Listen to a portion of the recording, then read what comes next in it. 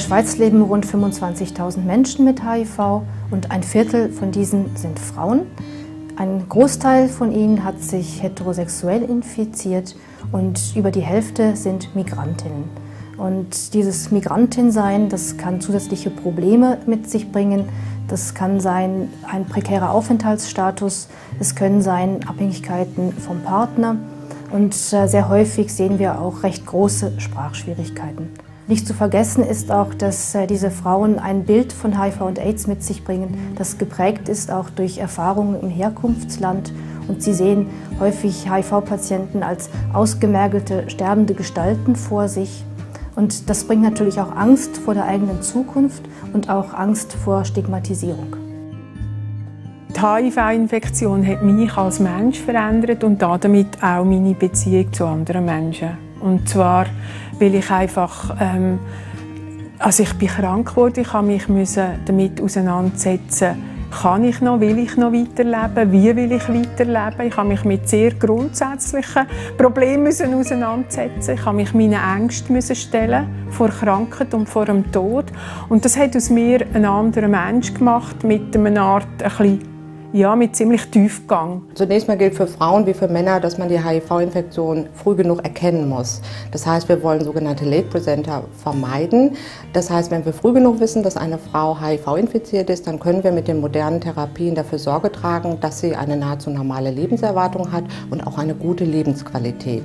Was Frauen aber darüber hinaus brauchen, sind sicherlich ähm, Selbsthilfegruppen, in denen sie eine Heimat finden und in denen sie auch Empowerment finden, also Peer Support Stichwort ist da so das Stichwort. Und da hapert es gerade in den westlichen Industrieländern noch sehr. Am Anfang hat das eigentlich nur mein Freund gewusst. Das ist die, die Person, äh, von der ich mich auch ähm, HIV übertragen habe oder angesteckt habe.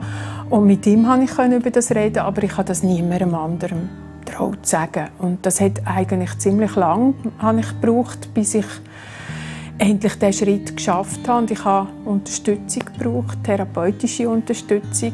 Es ist insgesamt sechs Jahre gegangen, bis ich das meinem Vater sagen konnte, meinem Chef bei der Arbeit sagen meinen besten Freunden. Und eigentlich so richtig locker, offen umgehen damit konnte ich eigentlich erst nach zehn Jahren. Können. Auf der Ebene der einzelnen Patientin müssen wir immer wieder schauen, was bringt diese Frau mit an Lebenshintergrund, welche Unterstützung hat sie in der Familie, im Freundeskreis, welches Wissen hat sie und wo können wir sie noch zusätzlich unterstützen durch Informationen oder auch durch Vernetzungsmöglichkeiten. HIV-positive Patientinnen sind in der Schweiz im Großteil zwischen 25 und 40 Jahre alt bei der Erstdiagnose und damit sind sie fünf bis zehn Jahre jünger als die HIV-positiven Männer.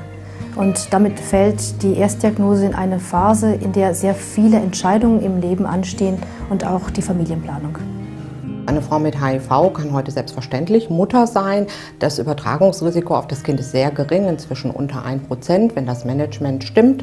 Und deshalb gibt es für Familien, für Paare, die von HIV betroffen sind, heute keinen Grund mehr, auf ein Kind zu verzichten. Während der Schwangerschaft stehen uns die gleichen Medikamente zur Verfügung wie auch sonst in der Therapie Erwachsener. Wir greifen natürlich gerne auf bewährte Substanzen zurück, mit denen wir schon relativ viel Erfahrung bei Schwangeren haben. Da helfen uns die internationalen Register.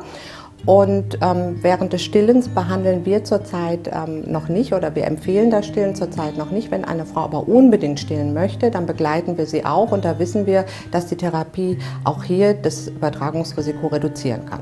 Was trotzdem sehr schwierig ist für eine Frau, ist, wenn sie Kind hat, dass sie, ähm, also das weiß ich von, von, von vielen Frauen, dass sie dann nicht trauen, offen mit ihrer HIV-Infektion umzugehen, weil sie Angst haben, dass ihre Kinder nachher wegen dem diskriminiert werden. HIV-positive Frauen sind im Allgemeinen durch die antiretrovirale Therapie und durch HIV selbst in ihrer Lebensführung nicht oder nicht wesentlich eingeschränkt. Aber es gibt so ein paar Bereiche, bei denen HIV-positive Frauen doch eine vermehrte Gefährdung für bestimmte Erkrankungen haben. Und äh, da gibt es äh, insbesondere Probleme mit Gebärmutterhalskrebs und HIV-positive Frauen sollten regelmäßig zu Kontrolluntersuchungen.